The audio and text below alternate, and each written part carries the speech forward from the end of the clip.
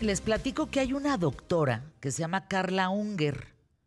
Carla es comisionada en el tema del Instituto Nacional de Cancerología. ¿Estamos?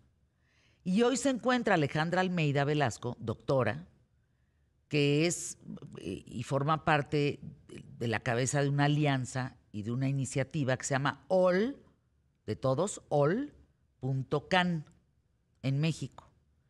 Alejandra, ¿qué dice la doctora Carla Unger del cáncer en México?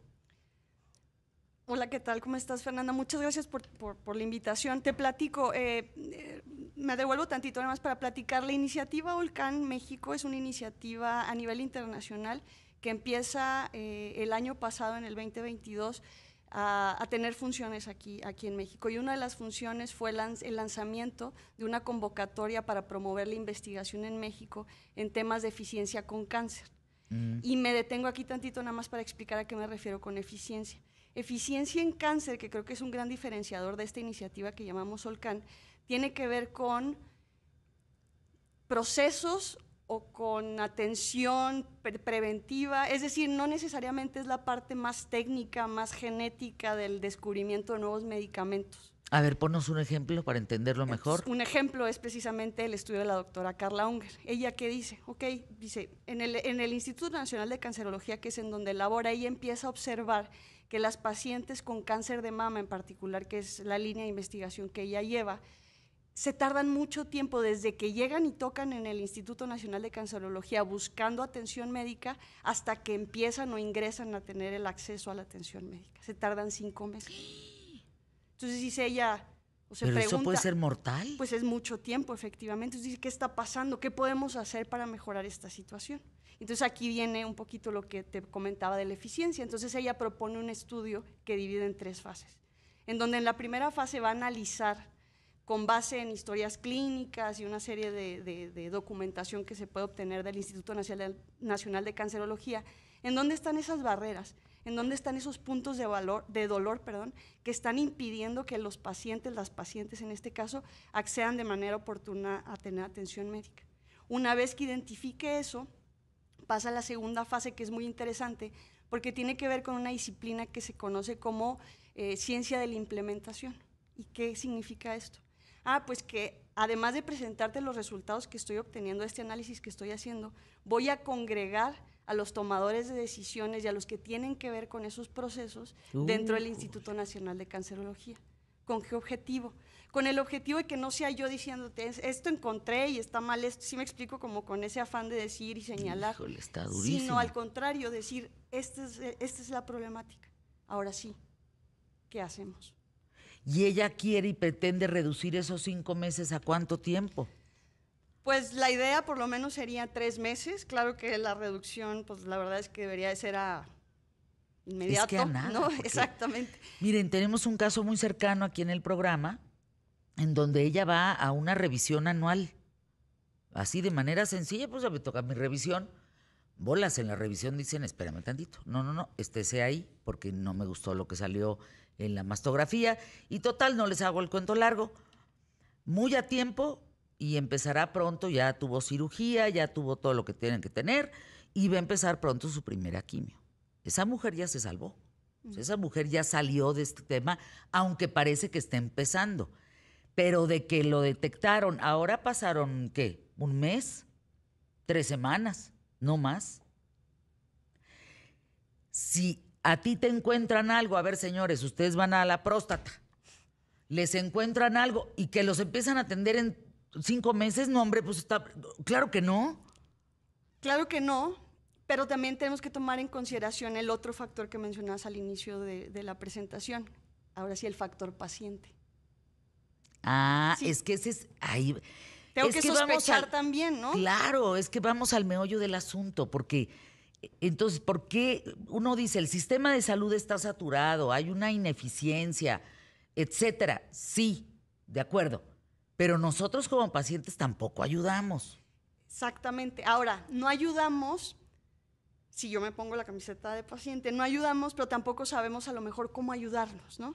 Y eso podría ser incluso también un proceso para mejorar la eficiencia en la atención del cáncer. ¿Cómo comunico mejor? ¿Y cómo haremos eso? Híjole, es una gran pregunta. ¿Cómo comunicamos?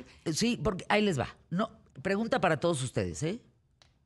¿Ustedes tienen una fecha más o menos en mente de manera año por año, anualmente, mm. de hacerse su check-up, de hacerse su, eh, su revisión? Su revisión. La mía es por ahí de febrero. O sea, yo sé que si pasando febrero no fui, me empiezo a picar los ojos yo, ¿no? Decir, ya, ya te pasaste, no te hagas al cuento, no, así como febrero tiene que ver con la limpieza de los dientes. O sea, hay un mes en donde yo arranco con médicos, pero no los quiero volver a ver en todo el año. Claro. ¿Tenemos esa estructura? No, no, no tenemos esa estructura. no creo. Desafortunadamente me atrevo a decir que también tiene que ver mucho con el nivel sociocultural, socioeconómico en el que nos encontramos, ¿no? Para tanto comprender la información que se nos está enviando y también como médicos y salubristas tenemos que entender también cómo informar y cómo comunico a las diferentes poblaciones que existen en México. Lo que yo he visto en campo, doctor Almeida, esto es lo que yo como eh, periodista, como gente que observa y como gente que además eh, hay una parte social de ayuda muy importante. Yo veo que una indígena primero va a la mastografía que una mujer de ciudad. De verdad, ¿eh? puede, ser, puede ser, porque existen las campañas y todo este tipo de situaciones. llevan los camiones y las atienden y entonces hacen sus mastografías y se les dan gratis o cuestan 10 pesos, pero van y hay filas, ¿eh?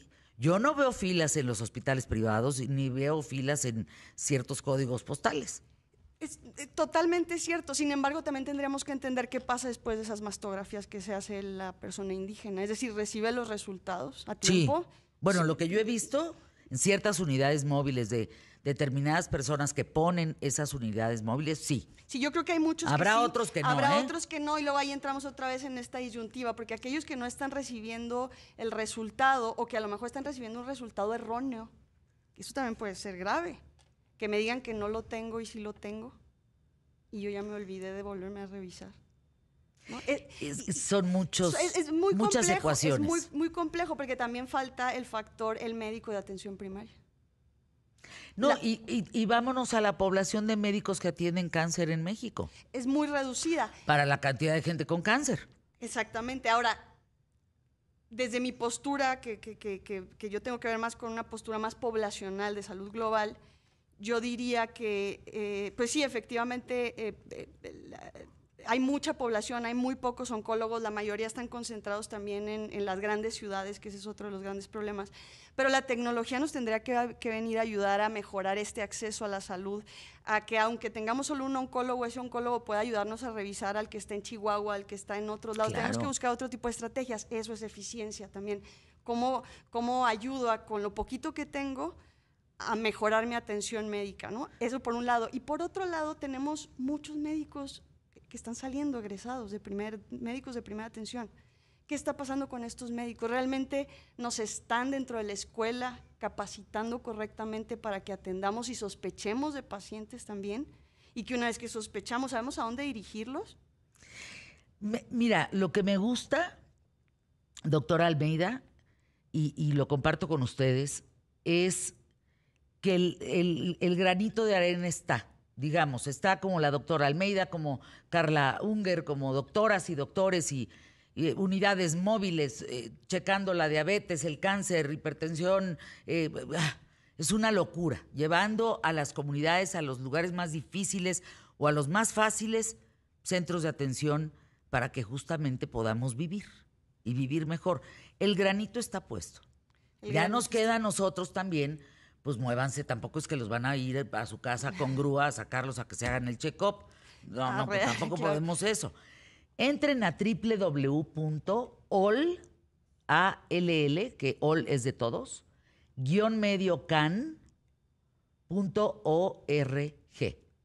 Entren y vean todo lo que se está haciendo para que tú tengas menos gastos en el tema del cáncer, para que tengas eh, probabilidad de que el diagnóstico sea en menos tiempo, y etcétera, que pueda haber más efectividad a la hora de una enfermedad como esta. Esa efectividad que no tuvo mi abuela, mm. porque no existía. Hoy la nieta en este micrófono lo está, lo está dando a conocer.